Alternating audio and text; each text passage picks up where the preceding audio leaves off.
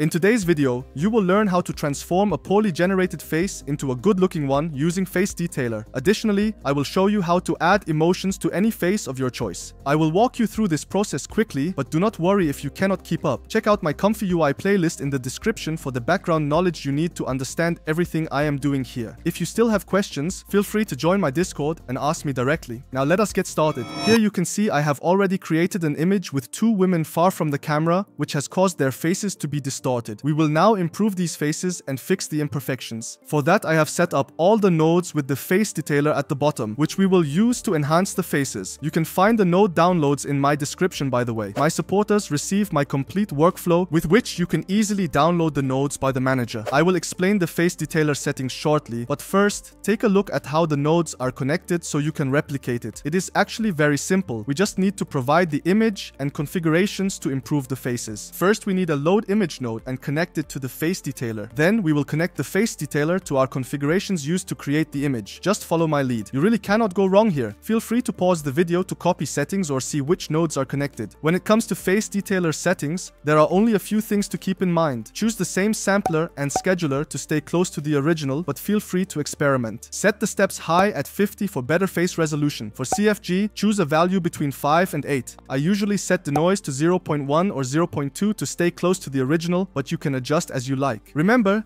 the higher this value, the more the image deviates from the original. Below, we have a prompt window where you can add emotions to the face, which we will cover soon. Lastly, the guide size affects quality. We will discuss this shortly. I leave the other settings as they are, but if yours are different, just copy mine. You can experiment with these to see if you get better results, but these have always worked well for me. As you can see, the face detailer has improved the faces, and you will notice they look much better than before. These faces were generated at 512 size. I then generated at 1024 size, and here is the comparison. As you can see, the 1024 size is the best. Here is another comparison with the other face. If you have any questions so far, feel free to ask in the comments. Now I will show you how to use the prompt window in Face Detailer to add emotions to faces. This is my workflow for my supporters, which I expand with each video. This exclusive content is available to my Patreon supporters as a small thank you. Don't worry if you're using your own workflow, the principles still apply. To add emotions like a smile, you need to increase the denoise setting. The AI requires higher denoise levels to make significant changes to the image, such as altering facial expressions. After generating the image, you can see the woman is now smiling. This feature allows you to be really creative. Here's another example where the woman appears sad. To achieve specific emotions, you will need to experiment with both the denoise setting and the prompt. Adjusting these parameters will help you get the desired emotional expression on the face. That's it for this short video. Thank you for watching to the end and see you next time.